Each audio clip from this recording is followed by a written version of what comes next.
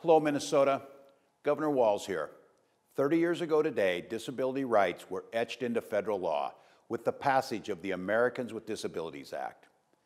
Like Minnesota's Human Rights Act, the Americans with Disability Act, or the ADA, prohibits discrimination against individuals with disabilities in all areas of public life, including jobs, schools, transportation, and all public and private places that are open to the general public. This act reminds us what we already know to be true. Disability rights are civil rights. But even as we celebrate the ADA, we know that equality for people with disabilities in the law doesn't always protect them in equality in everyday life. People with disabilities continue to face systemic ableism as well as conscious and unconscious biases. People with disabilities make up 20% of the U.S. population and are contributing members of Minnesota and the U.S. economy and our workforce. However, disability discrimination is one of the most common bases of discrimination in our state, especially in employment.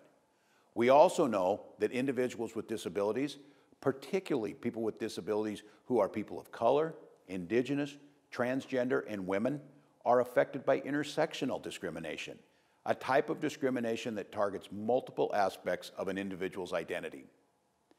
And as our state continues to battle the pandemic, we know that regular challenges faced by Minnesotans with disabilities have only increased. Folks with disabilities are at greater risk of complication from COVID 19.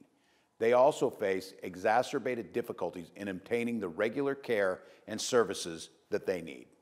More than ever, we must reaffirm our commitment to ensuring that Minnesotans with disabilities are fully included in our communities.